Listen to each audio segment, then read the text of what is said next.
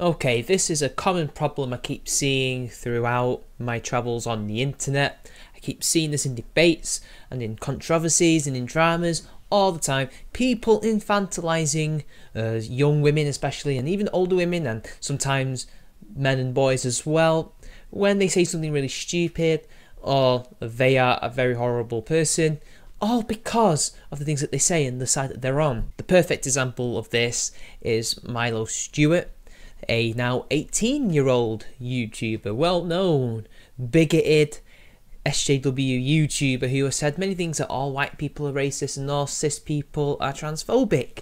Now, some people did not like the fact that she was being criticised and used her age as some kind of weapon, not only to shield her from criticism, but also to use against other people. So look at you attacking this 17 year old. How dare you attack this young person?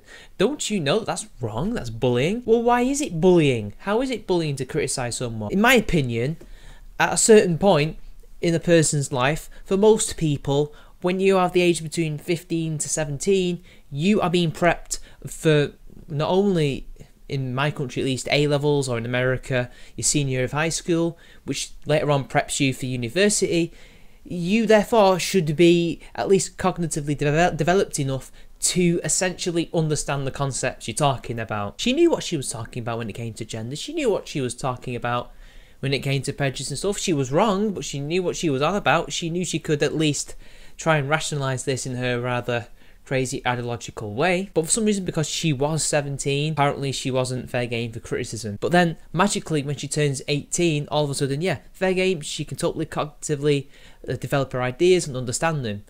Well, where is the cut-off point, people? And not only that, it's used to form whole ideologies. Feminism is based on this infantilization that women can't do this, women can't do that without men's help. We need your help, men, to solve the issues of the world that you caused. We're too pretty and delicate to do all that on our own, even though there's perfect examples of women doing things on their own without anybody's help and becoming successful and famous and just generally doing well. Sometimes it's used to excuse mistakes. And look, I know as a 23 year old, I make a lot of youthful, naive mistakes, and I have done in the past. And I probably will do forever and ever. People make mistakes. But that doesn't mean that your age is an excuse uh, to essentially absolve yourself of everything that you've ever done. No, no. If you're old enough, rational enough, and intelligent enough to understand what you're doing, that's on you, not on your age. It's not an argument when it comes to essentially trying to justify what you've done or to explain what you've done. And conversely, when older people using pe- people's ages in arguments saying, oh, you're just young, you don't understand at the moment, but you will do at a certain point in your life whenever, yeah, that's not an argument either, older people. Just because this young person is espousing an idea doesn't mean that somewhere down the line they're not going to believe in that. Maybe they do, maybe they won't.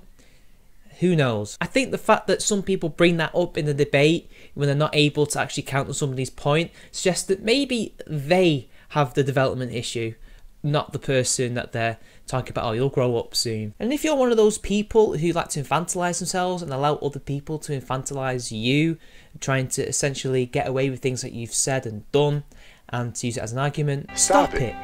Get, Get some, some help. help. Anyway, that's the end of the video. This has been Charming Man 93. Like, share the video, subscribe to my channel, donate to a Patreon if you want to see me do this more, and until next time, I'll see you all later. ・え